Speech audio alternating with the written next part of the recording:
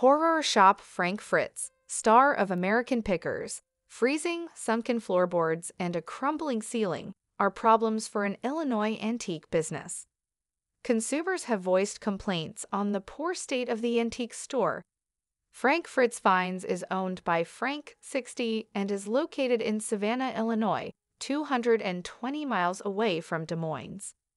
The U.S. Sun received exclusive images of the business, which highlight its poor circumstances while the American Pickers alumni recovers from a stroke he had in July 2022. Frank Fritz finds located in the rear of Hog Dogs, a restaurant and bar. The ceiling paint was visible flaking off in one of the photos. Even the wiring from a hole in the wall are visible. The hardwood planks were shown to be sinking into the earth in another picture. The store's circumstances, particularly the dim lighting and chilly temps, have drawn complaints from customers. On Google Reviews, a consumer stated, it was supposed to open at 10 a.m. Another employee said that the antique sales lady was running late and that the lights were out when we arrived. She did let us into the antique sales, but be warned, it's not heated, so if you go in the cold, be ready. The bar did feel kind of groovy, but even at 10:30 wasn't ready for us. There were a good number of genuine antiques available at fair prices, undoubtedly disorganized. One more person said, could use more lights. I was so excited to go, a third person wrote. Up till my arrival, the cost is substantial. Dim lighting, so disheartening. Keep watching for more details. Hi viewers, my name is Elena. Welcome to my channel. Like this video and subscribe to our channel. So let's start. Store Dave FIQLTEs. Additional images of the store's poor circumstances were published by the U.S. Sun in November. It was hard to view the antiquities within the glass display case in one shot, as it looked to be discolored. Thick cobwebs were seen in the shop's corners in another image. Some antiques even had cobwebs on them. Dust coated shelves and antiques throughout the store. There were cobwebs on an antique mannequin and on the windowsills, just like in images that the U.S. Sun exclusively received in August.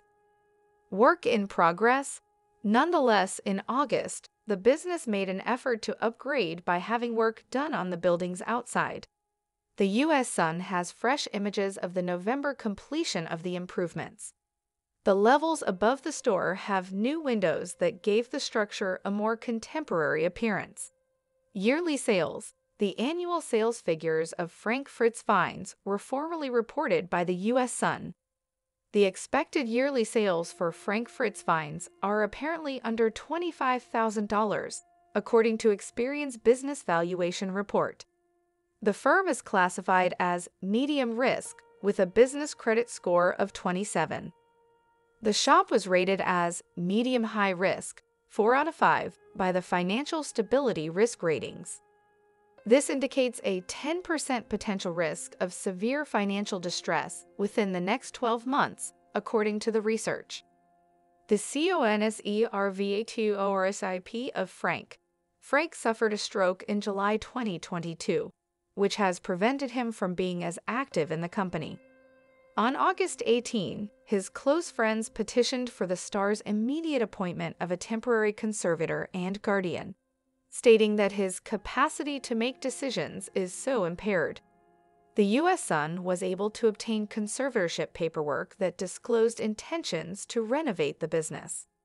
The conservator Midwest Midwestone Bank filed an initial plan that said, Mr. Fritz is a well known collector with numerous outbuildings full of valuable collections.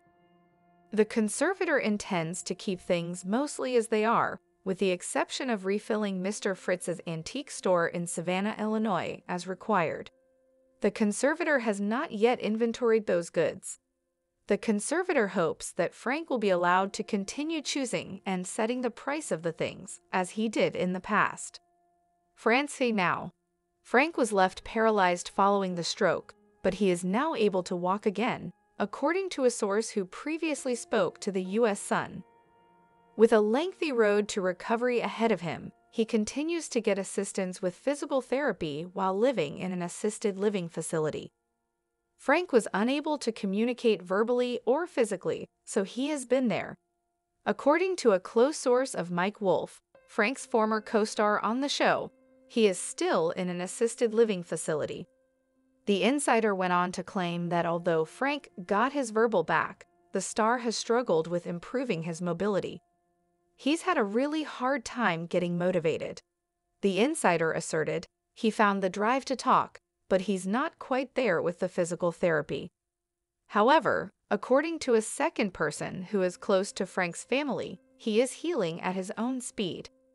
The second insider stated, he's been working really hard to not overdo himself, stress himself out, and honor his health.